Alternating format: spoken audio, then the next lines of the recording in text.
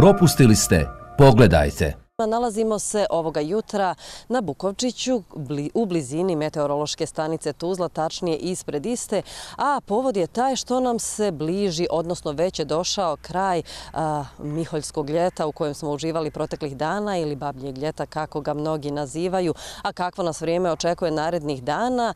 Sve ćemo to doznati u nastavku od Mehmeda Đakića, možemo reći šefa meteorološke stanice Tuzla. Dobro jutro, hvala vam na ovom razgovoru. Evo, stigli smo do kraja kraja tog babljeg ljeta.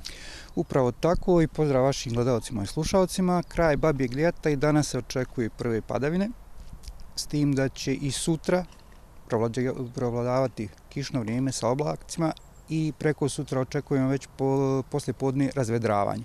Tako da samo ova tri dana će da bude padavina, međutim za dalje ćete čuti u nastavku emisije. Da, što se temperatura tiče, evo najavljuju nam drastičan pad. Kakve su evo vaše prognoze? Da li će biti tako drastično?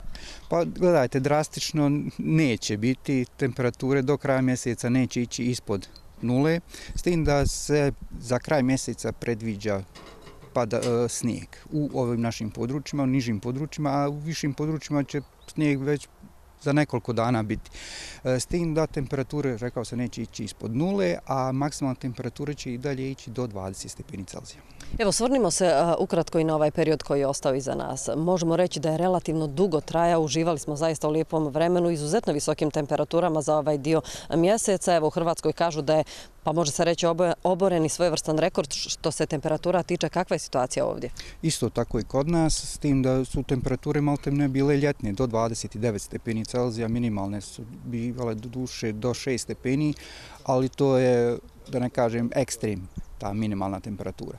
E, Kao što rekao, temperature su bile ljetne i sad nas očekuje taj blagi pad temperatura. Da, evo, ponovo ćemo o tom periodu koji je ostao iza nas. Koliko je on uobičajen? Kažu, evo, ponovo ću se pozvati na podatke iz Hrvatske, ovaj mjesec je bio među tri najtoplija od kad se mjeri vrijeme. Da li je i ovdje bilo tako? Jeste. E, bilo je neuobičajno toplo i neuobičajno suho za ovo doba godine da evo, baš tako bila je, bio je sušni period, neobičajen za oktobar. Jeste, s tim da je samo na početku mjeseca bilo nekoliko kišnih dana, svega je neki 70 litara po kvadratnom metru palo. Da, a, bliži nam se zima i onaj period kada, nažalost, imamo problema sa zagađenim zrakom.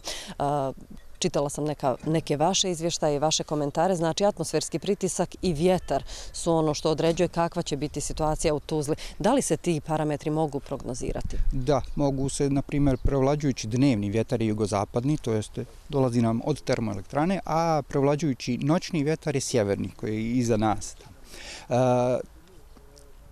to se može prognozirati taj vjetar i atmosferski pritisak s tim da ne možemo prognozirati kako će ko da loži u pogotovo u individualnim stambenim ložištima. Tu bude e, najviše, naj, najzagađeniji dio Tuzle u stvari Šiselo.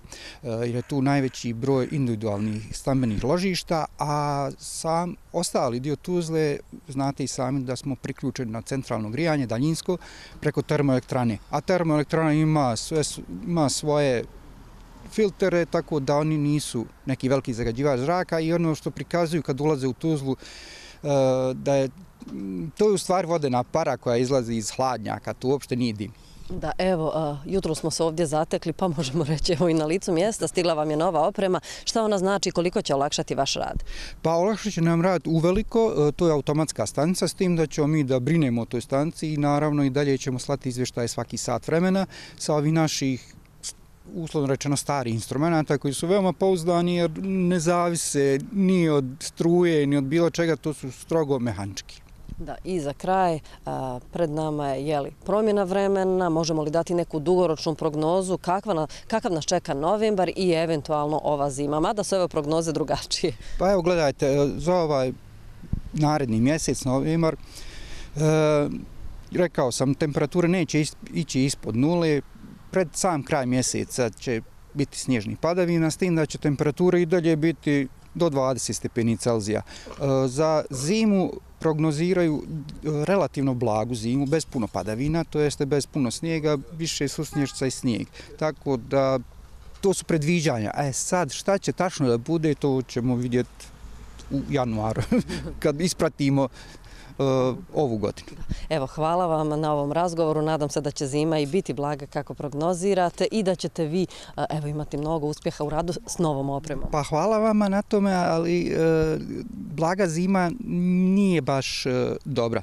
Iz prostog razloga što to niske temperature ubijaju ove nametnike, bakterije, viruse, sve živo, jer to je taj prirodni ciklus. Zima bi trebala da bude jaka, da bi priroda, da ne kažem, bolje uspjela iduće godine sa što manje tih nametnika, jer e, gledajte, što je vrijeme toplije, gledajte, e, samo u ovom našem ovom oglednom polju već počeli se opet da rastu i maslačci i obrtići, one bijeli rane. Da, nešto što nije uobičajeno. Pa nije uobičajeno za ovaj mjesec. U ovom mjesecu to trebalo već da prođe sve. Međutim, nije. Pa eto onda se možemo nadati jako zimi. pa gledajte, bolje je malo zagajati zrak, malo rekao sam, nego da nam dogodine opet sve te ti nametnici prežive pa da se udruže sa novo, novom generacijom isti, tako da to nije baš najbolje. Evo, to su i onako stvari na koje mi ne možemo utjecati. U svakom slučaju, vama hvala na ovom razgovoru. Hvala i vama na posjeti. Poštovani gledalci i slušalci, bio je ovo Mehmed Đakić, šef meteorološke stanice u Tuzli. Evo, dakle, čuli ste, slijedi nam promjena vremena, tako narednih dana neka su vam kišobrani uvijek pri ruci.